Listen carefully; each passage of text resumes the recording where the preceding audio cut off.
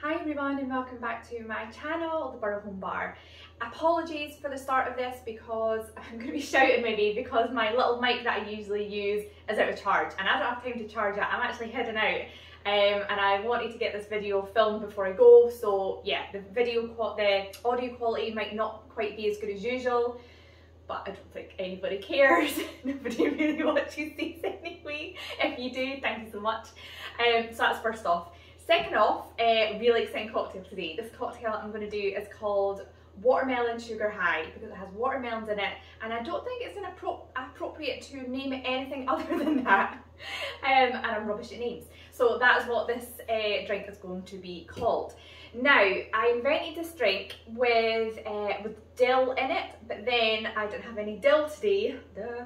so I did have basil, and I was like, oh, is basil and watermelon gonna go? And I kind of looked at it, and apparently you get a vodka, I can't remember the brand now, but it is basil and watermelon vodka, so I was like, okay, this, I think this is definitely gonna go. I've done it before with dill, and it was beautiful, and I'm interested to see what it's gonna be like with basil instead. So, enough yapping. What is in it? There is watermelon vodka going in there. There's some Aquavit, which is my absolute fave, and we're getting dangerously low here, so I need to get another bottle. Uh, green chartreuse, which is another absolute fave. Some sugar syrup, some lime juice. I don't have any fresh limes. I don't know what's going on today. I don't, I don't have anything. Um, some lime juice and some fresh watermelon and some basil. Now the watermelon and the basil are already in my shaker ready to muddle, so we'll just crack on. So I think it's maybe three, three leaves basil and a few chunks of watermelon in here. So just give it a little bit of a muddle. Okay, so vodka, we're going to do 40 mils of watermelon vodka.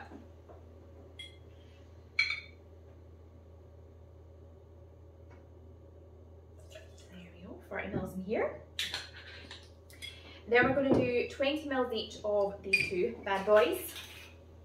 I just love both of these things in drinks. Oh my goodness. They're right. They are definitely up there in my top my top things to use. In there. I can't believe I'm running so this. That makes me sad. But it's gonna make me really happy when I get a new bottle. So 20 mils in here. There we go. So then I'm just going to do 50 mils each, making everything easy for myself of the lime juice and the sugar syrup. I don't have any homemade sugar syrup at the moment, so the bottle will do just fine. That's also getting low, but that's only like a few pounds, whereas this is, you know, 20 odd pounds, so. And preferably fresh lime if you have it, and if you don't, like me, then this is better than nothing. So yeah. Lovely, so that is everything in the shaker. I'm gonna add some ice. I think this is my 70th video on YouTube. That is not a number to really celebrate. Maybe when I get to 100 videos, I'll do something special. But I was looking at it when I was editing one the other day and I was like, oh, this one will be my 70th one. So I cannot believe I've done that many videos. Oh my lord. Give that a really good shake.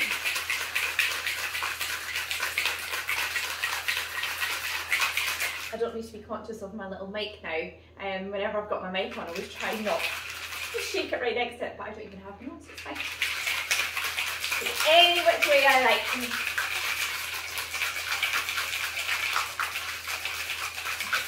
So you really just want to give it a shake to, you know, muddle everything up. There's no egg white in there, so I don't need to go over the top. Um, so let's get this ready. So just a little basil leaf garnish. And then I've got a little watermelon on a cocktail stick as well. Right. This shaker is really bad for spilling everywhere. This is why I don't often use it, but it's so pretty and everything was rose gold. So, so I need to kind of get this in quick. Oh, oh, it's not too bad. I think kind of dilly dally and I don't pour it in quick enough, it tends to dribble everywhere. But if I just boom, tap it right over then it's actually not too bad. Sorry shaker, you're not that bad after all. There we go, lovely colour and then some watermelon as well. So yeah, that is my um, watermelon sugar high cocktail with basil this time. And I'm really intrigued to see what this is gonna taste like. Cheers.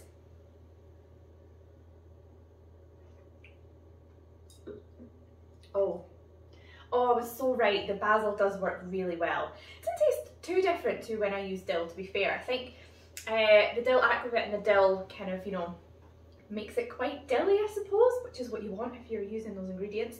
Um, but actually, you start, you still are getting a bit of dill because of the aquavit, but the basil is just, I don't know, it tastes really good.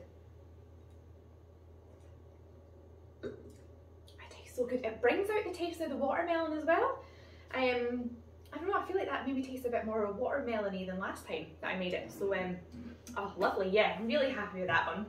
Uh, redeemed myself from last week's video if anyone watched it. Although I did say in last week's video in the little, you know, bit, uh, uh, in the bit after, I don't know what I'm trying to say, the bottom of the, the video, that my husband Ben would like it, and he actually did. He said it tasted like licorice, my video from last week at um, High on the Beach and I don't like licorice so I think that's why I was so offended by that drink. Um, but I'm happy that I've made this and I have redeemed myself because this is this is a winner. This is stunning. Um, thank you so much for watching me again this week on the Burrow Home Bar and I'll catch you next time for another Burrow cocktail. Cheers